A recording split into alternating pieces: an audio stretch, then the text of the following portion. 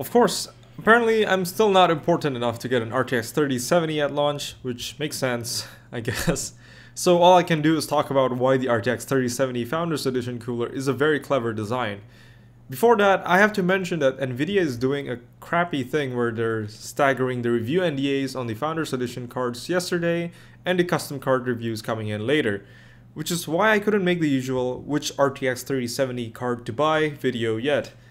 So here's what I found out about the RTX 3070 Founders Edition design that's super interesting instead.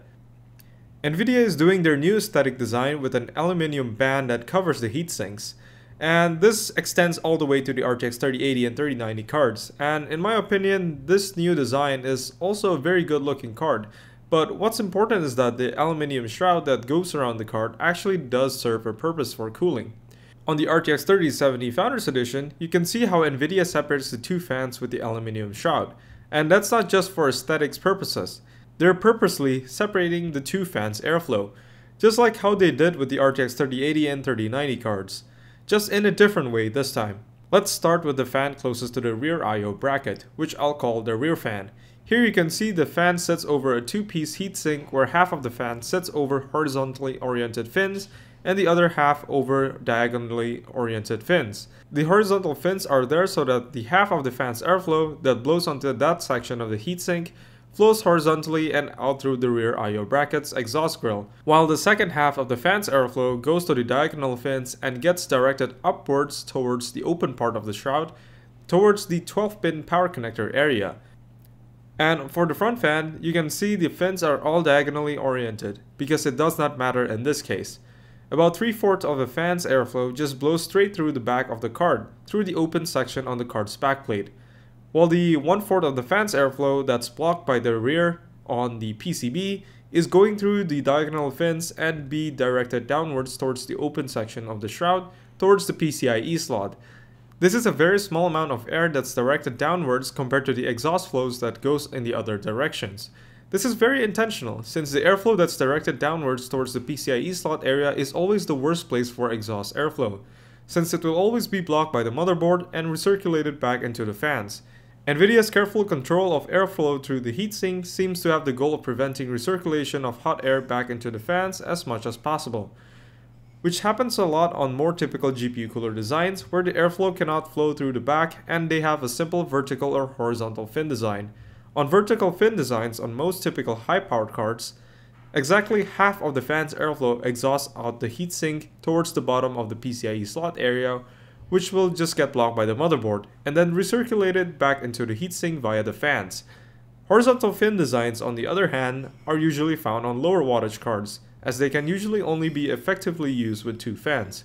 On these designs, the rear fan towards the rear bracket has the airflow directed towards the exhaust fan on the bracket, while the front fan's airflow will exhaust out the front of the card towards the front of your case, which will usually just fight with the natural airflow of most PC cases. While this is not a big problem, this is not the most ideal situation. And a lot of the airflow that's between the two fans will kind of fight each other and go out the sides of the heatsink all over the place. So these more typical heatsink designs just eject a lot of airflow all over the place uncontrollably. And this is not ideal because they will just mostly get recirculated, especially when directed towards the PCIe slot where the airflow will just get blocked by the motherboard and recirculated and sucked back into the fans. As a direct result of the recirculation, there is a higher intake temperature into the fans. While on the NVIDIA Founders design cards, the airflow into the fans is almost purely cool air which will greatly increase the effectiveness of the heatsink. This is because the heat flows from hot to cold, and the measurement of thermal resistance of a heatsink is in Kelvin per watt, which calculates the required amount of temperature delta between the heatsink to the air measured in Kelvin per 1 watt of heat dissipation. Lower is better in this regard since you would need less temperature delta per watt of power dissipated. This value for a heatsink is usually affected by the heatsink's material, surface area, and the airflow. Let's say that the thermal resistance is a certain value, then the way to increase the amount of wattage dissipated by the heatsink is by lowering the temperature entering the heatsink, which will increase the temperature delta in the equation. This explains how Nvidia's new card is barely larger than the old RTX 2070 heatsink which uses horizontally oriented fins, yet it can cool a GPU with a 220W TDP, which is the same as an RTX 2080 which has a much larger heatsink. That's all I can say about the RTX 3070 Founders Edition at this point, just about the cooler, which people might not be hyping it up as much as the RTX 3080 or 3090 with the wacky rear fan setup, but it's still very much a clever heatsink design from Nvidia. This will be very hard for custom cards to beat, as we've just seen with the RTX 3080 and 3090. That's because most custom cards just rely on brute forcing it with using more fans and a larger heatsink, while Nvidia's approach is more of doing clever airflow control for better heatsink efficiency.